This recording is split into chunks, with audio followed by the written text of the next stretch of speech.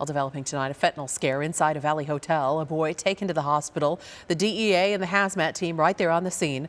All of this unfolding in Surprise near Bell and El Mirage, and that's where we find our Ashley Paredes. And Ashley, this hotel was blocked off for hours during all of this.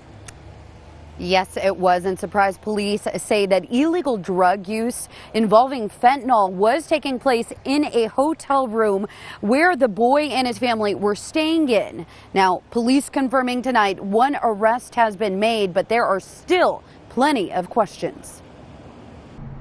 The Days Inn off Bell Road in Surprise closed for hours Wednesday. Crime scene tape surrounding the entrance. Hotel guests concerned with what was going on. So I looked through the window and I saw some police officers, a stretcher. Surprise police say a boy was found unresponsive in a hotel room. Christopher Bennett tells us he is that boy's father and the one who called 911. Just thinking I had to save his life and start CPR right away. Officers say they discovered fentanyl and meth inside the room where two adults and their children were staying. A local DEA hazmat unit was called in to help with the removal of those drugs. A woman was arrested. Christopher was interviewed by police but allowed to leave, saying that woman is the mother of his three children.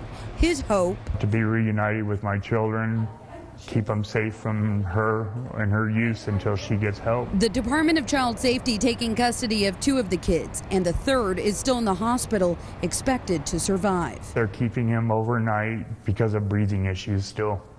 He's not getting full oxygen, so they were going to hold him overnight. Police are now trying to determine whether his medical condition is specifically connected to the illegal drugs found in the room. Investigators say additional criminal charges are possible in the case. Ashley Paredes, ABC 15, Arizona. Well,